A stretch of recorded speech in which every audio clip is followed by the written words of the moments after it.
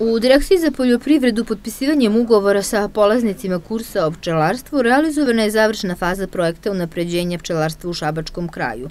Za 35 poljoprivrednika koji su prihvatili obaveze i uslove, odnosno da će utrostručiti broj košnica u narednom periodu, do kraja sedmice biće isporučeno prvih pet košnica.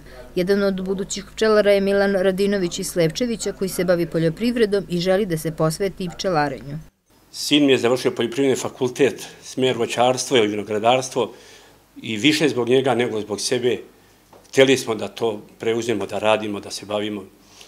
Svaka pomoć dobro dođe i mislim da je ovo pravi potez. Ja sam napredim zahvalan. Za Mariju Mašić iz Mrđanovca, čija porodica se bavi voćarstvom, kaže da je pčelarstvo izazov i želi da uz pomoć najvrednijih prirodnih oprašivača unapredi voćarsku proizvodnju. Pa zato što volim pod broj 1 pčele. Mnogi su u mojoj porodici tim bavili, a pod broj 2 zato što, su, zato što je med jako tražen na tržištu. Čisto želela bi da se time bavim. Unapređenje pčelarstva kroz ovaj projekat dodale košnica vladalo je veliko interesovanje. Meni je veoma drago i veliko mi je zadovoljstvo što je da ovaj projekat prijavljeno preko 260 ljudi. Mi smo imali mogućnosti sa 35 u ovom momentu, to smo učinili i naravno u narednom periodu, a sigurno i sledećih godina ćemo nastaviti ovaj projekat.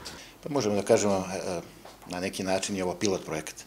Prvi put na ovakav način radimo i trudimo se da pomognemo poljoprivrednim proizvođačima, posebno iz odnosno najvećeg razloga da je med jedan od proizvoda koji je izvozni artikal, koji se izvozi sve količine koje se proizvedu mogu se izvesti.